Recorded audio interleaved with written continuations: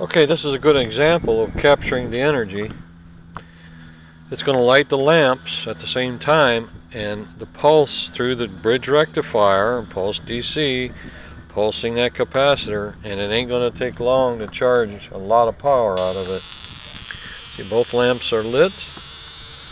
We got a little spark gap. It's a low current.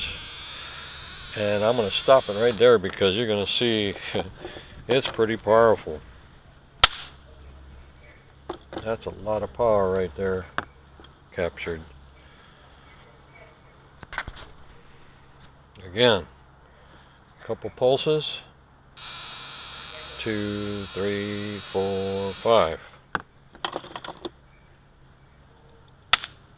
Yep, five seconds.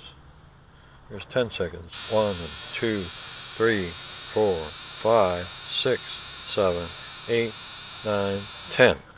Unplug it. There you go. A lot of power, and that blew out a lamp like this already. When I touch this microwave oven lamp on there, just fried everything.